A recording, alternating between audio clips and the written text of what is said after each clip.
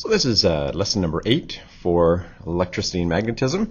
And today we're going to look at another form of the equation for generating electricity, for generating voltage with magnetic fields. It's, it's actually the same concept, but just in another form. And then we'll look at an application of that, how you can turn an electric motor into a generator. And uh, at the beginning here, let's just kind of go over what we've seen so far in this chapter. Started off with permanent magnets and how they have a north end and a south end, and you've got magnetic field coming out of the north end and making its way to the south end. And magnet or um, compasses are little magnets, and they will always show you the direction of the magnetic field. The second thing we saw in the chapter was how you could actually make magnetic fields using electricity. We actually saw two forms of that. Um, and then we looked at how you could generate force on moving charges. They could be singular charges or they could be uh, electric currents. We actually had two forms of that, QVB and LIB. And kind of interestingly here, we're going to have two forms of this equation for the idea of Faraday's law of generating some voltage. So that script E is just really a voltage. You could do a capital V if you want.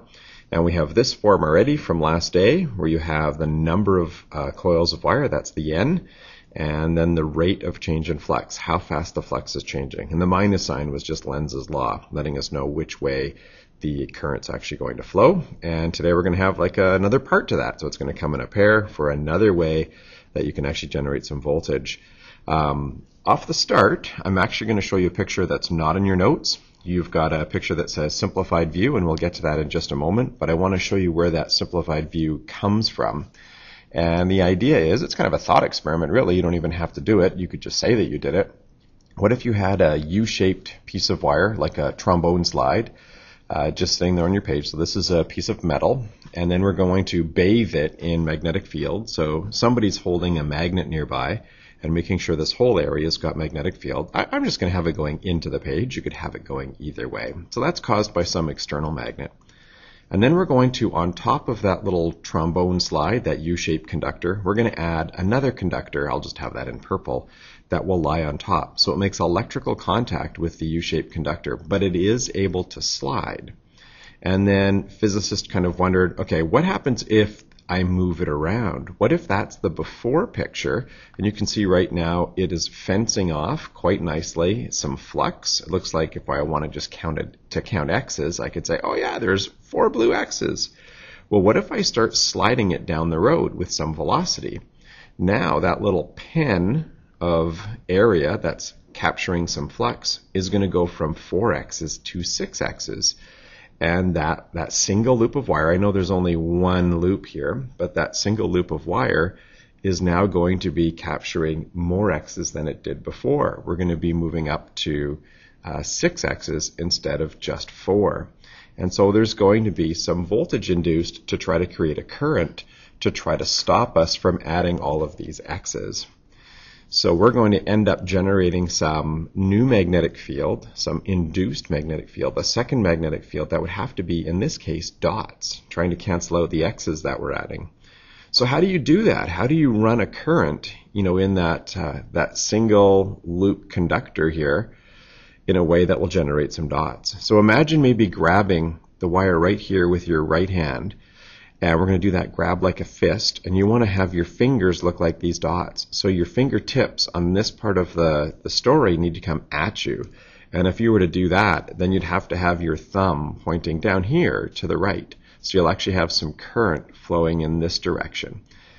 And that's kind of interesting. So just this moving bar cutting through that magnetic field is actually generating some, some voltage to create that current for it to happen.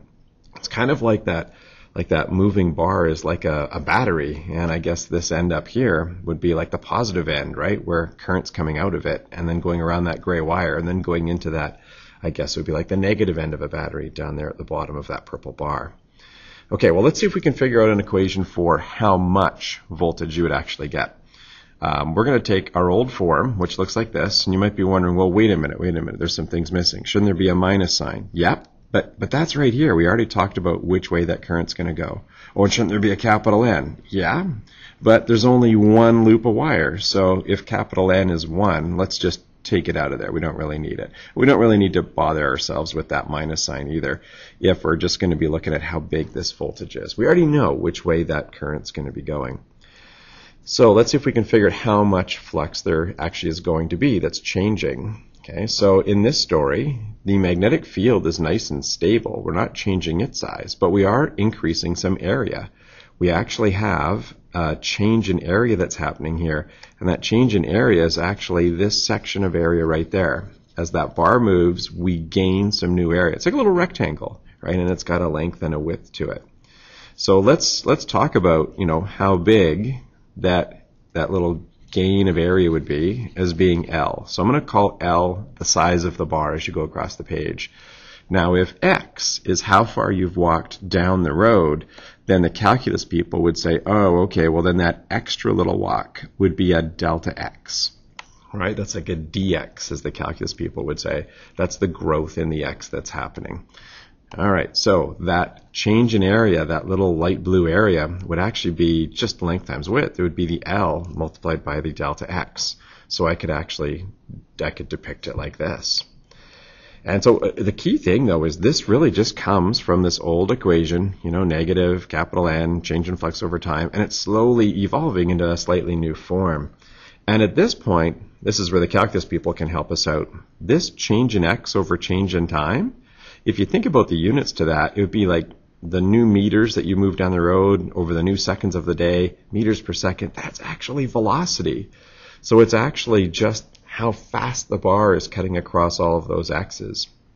So we've now got a new version of this equation for generating voltage, right? It's the old one that's negative n change in flux over change in time, and it's now turned into this one, this BLV, which is a, a, great equation to use if all you have is just a bar that's slicing across some magnetic field. Um, now, a couple little pointers here, uh, and again, we're going to put some notes in in a second, but that entire created voltage turns out is just created by the moving bar. It's not created by the, the gray U-shaped conductor. It's actually the moving bar that's doing it. Um, the bar has to cut across those x's though. If you move that purple bar in a direction where it doesn't cut across the x's, then you won't generate any voltage at all.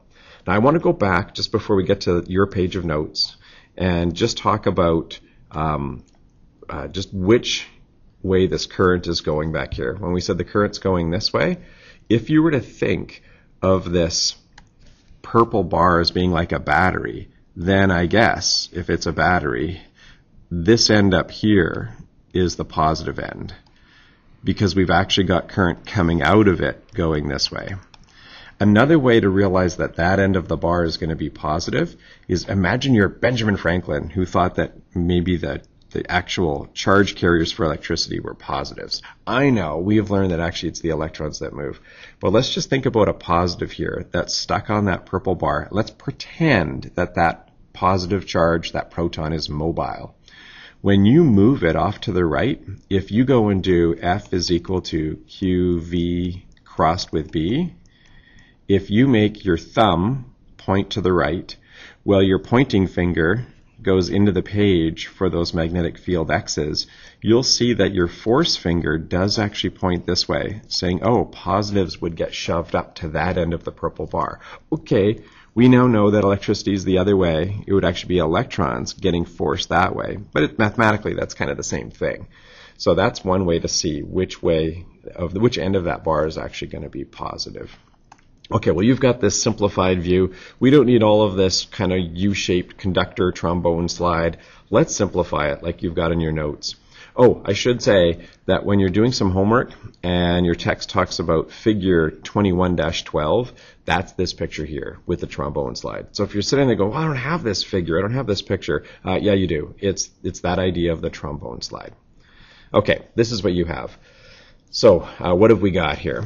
Um, if you have a bar slicing across some magnetic field, then you're going to be creating some voltage. So this equation BLV, it actually mathematically is the same thing as this one. Negative N change in flux all over change in time. Uh, they're exactly the same thing. They're just they're just two different things you can use depending on what you see if you look at a story and you can clearly see a coil of wire, then maybe I'd use that one that I have there in black. But if you look at a picture and you see just a single bar slicing across some magnetic field, then it might be better to go with BLV. Uh, there, it turns out, if you're careful, you can actually use either one in any story. Uh, but it's just that sometimes one equation will lead itself to a simpler solution. So this is the story about a voltage from a bar that's cutting across a magnetic field. Now, you have to be careful about which way you move that bar. The way we're moving it here, it will work great. But as you've got on this page of your notes, there are two ways that you could move the bar that won't generate any electricity at all. If you move the bar in those two directions, it won't actually be cutting across the magnetic field lines and you won't generate any voltage at all. It has to cut across that magnetic field. Okay, that's the only way. It has to be crossing it like a cross product. Uh, that's the only way that we can generate some voltage. All right. Um, now, some pictures that are not in your notes, but just some ones that we can talk about. Let's say you're doing a physics question and they say, oh, there's this room, it's huge, it's five meters across, full of magnetic field, and then there's a three meter bar that's moving across those x's. Hey, uh, definitely cutting across the x's, so it's going to generate a voltage. But if they say, well, which which length should you use for BLV, right? When you go to use the L in there, well, I would use the three it's great that you've got this wide room, but you have to have magnetic field, movement, and you have to have a bar. And there's there's only a bar that's three meters long, so I would use three in this story here. Okay, what about this story? What if the magnetic field spans five meters, but the bar is seven? What would you use then? Do you use the seven or do you use the five? And the answer is I would use the five. There are some sections of the bar out here and out here that are just not cutting across any x's. So it wouldn't be appropriate to use the 7 there. Okay, getting a little more interesting. What if there are two rails in gray, 3 meters apart, attached to a light bulb, in a room that's 5 meters across full of magnetic field, and you drag a bar that's 7 meters across? Which uh, uh, length would you use when you go to find the voltage? Uh, this one's a little a little trickier. Uh, here, I would actually use the three. Uh, it turns out we're only in this story choosing to access this much of the bar's voltage. There is some voltage that's being generated out here and here, but you're not choosing to access it. If you could somehow go and move those gray rails out to there, you'd actually notice the light would get brighter. Uh, because then you'd be grabbing more voltage. But in this story here, you would only be grabbing three meters worth of voltage there, so you would be putting the three in for the L. Okay, um, this example here, uh, pretty much our only big example of the day. Uh, it's a classic example. Probably every single Physics 12 student's seen this example. It's a story about an airplane. It's got a metallic wing, and it, the wingspan is 55 meters wide, and it travels over the North Pole. You could do it over the South Pole too, right? But if you go either over the North Pole or the South Pole, that's where the magnetic field's going directly into the Earth, and so the airplane would be beautifully just mowing through those magnetic field lines. Um, magnetic field's not very strong there, but the plane's going pretty fast. And the question is, how much voltage is there created from wingtip to wingtip? And at first you might be thinking like, really? Seriously? It'll make a voltage? And the answer is yeah, yeah, it does. Um, but it's not very large. Uh, so there's my airplane. And uh, let's put some magnetic field out there. So we're going right over top of one of the magnetic poles of the Earth. So we're just mowing the lawn, so to speak. There's lots of magnetic field lines that we're penetrating through. And the bar, the purple bar in this story is basically, you know, the wing right there, right? And it's cutting across all of those X's. And so this, this is a perfect time to use BLV. And you could say, okay, um, it doesn't look like a coil of wire to me, so BLV is the best way to go. Magnetic field, decimal 0001 the length, 55 meters from wingtip to wingtip. And I do have to change the speed, the velocity. I'd want to change that to meters per second, uh, but that's pretty easy to do. We can just divide by 3.6. And so there's the answer, 1.22 volts. Now I got to tell you, that's where we're supposed to stop for this example for Physics 12, but I want to go one step further and just kind of look at this a little bit more critically and go, well, would this work? Like, could you use that voltage for anything? You know, could you power like a little a little iPod shuffle or something like that using this 1.22 volts? And the answer is, well, not very easily. Um, you know, if you were to try to run some wires from wingtip to wingtip through the back doors of the plane, the pilot probably wouldn't be very happy with you. But let's say you did, and you're thinking, well, can I access that voltage now? Um, by, by using this experiment here. The trouble is, not only does the wingtip, uh, sorry, the, the wing itself from wingtip to wingtip generate a voltage, but so does this wire that you've actually extended like this. And it turns out the way this is wired, those two voltages would actually cancel. And so that's a little disappointing. And you might think, oh, this example will never work then. Why are we doing it? Well, maybe, maybe you could find some creative way of shielding one of those wires so that only the wing perhaps generates some voltage. Okay, sure. Yeah, you could do that and you'll generate some voltage. But here's the thing. If you were to then run that little device that you've got trying to power it by the airplane's movement here, as soon as you did, you would have current that flows this way in the story. It would flow this way through this wire. I'm not too worried about that because it's shielded, so we've said. But you'd also have this wire right here with some current in it, this wingtip. And that's going to be a problem for us because if that if that wing has that current flowing in it, you know, like like this, then all of a sudden there's a new part to this story. Now you have uh, a chunk of wire, a length of wire with current in it in a magnetic field. And the next equation that would come into play would actually be F equals LIB. And what would happen is there would actually be a force backwards on that wire, on the wing, and it would tend to slow the airplane down. Now, if it's just a tiny little iPod shuffle, the pilot might not notice it, but if everybody in the plane wanted to do that, that'd be a problem. So I guess the moral of the story is you can't get something for, for nothing here. You can't get this energy for free, and uh, you'd have to, you know, put a little more fuel into the airplane's engines in order to keep this airplane moving down the road if you wanted to tap into that voltage and draw some current. Um, but we're supposed to just say, oh, it's a BLV story, beautiful, great, and come up with a 1.22 volts. But I wanted to spend a second there and just look at that a little more critically. Last, uh, last page of the day here, we saw back earlier in the chapter, you don't have to draw this out because you've, you've got this earlier in your notes. We saw how electric motors work.